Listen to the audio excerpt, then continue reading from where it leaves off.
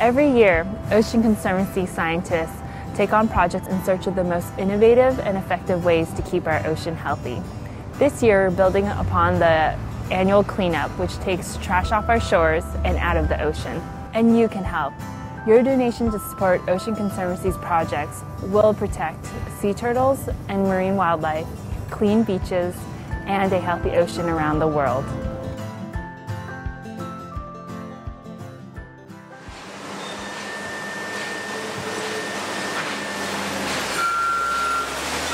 For most people, trash is just litter. It's unsightly, they don't want to sit on the beach with a bunch of litter around them, but really it's an extraordinarily complex uh, topic and it has far-reaching uh, impl implications for uh, the health of, and welfare of the environment and uh, the people who uh, use our beaches and coastlines.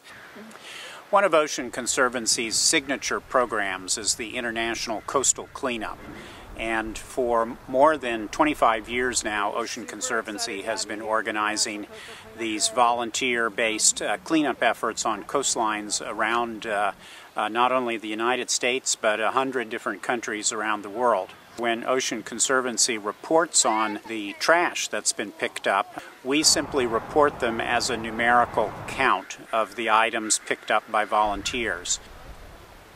What Trash Lab is about is to help us um, take a closer look at the types of trash that are coming in in the, the, coastal cleanup so we really can understand what are the most important types of trash to prevent reaching the ocean. The ecological impact of a cigarette bud isn't equal to the ecological impact of a fishing net.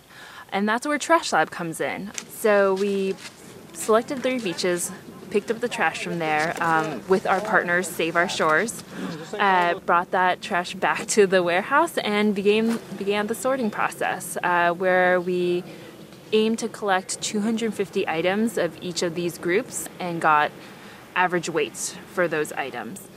By looking at weight, we get an alternative or a different perspective on the composition of trash in the sea.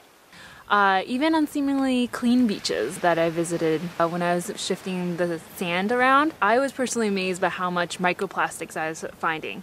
I had a, a, handful of microplastic in the end of a five minute search. In addition to getting average weights within Trash Lab, we also were interested in better understanding microplastics. We cut up pieces of plastic fragments, uh, put them into well plates, and had them sent out to a lab to identify what type of plastic um, that plastic piece was. The amount of trash that's brought in in the coastal cleanup is a drop in the bucket compared to what actually ends up in the ocean. And it's easy to be totally overwhelmed by this idea of, of uh, trash and marine debris and how to stop it. That's really the ultimate motivation for this is to help guide Ocean Conservancy's um, efforts and priorities in terms of stopping trash at the source. Trash Lab was made possible by supporters like you. A healthy planet depends on a healthy ocean. Help us continue to keep our ocean and wildlife safe by donating today.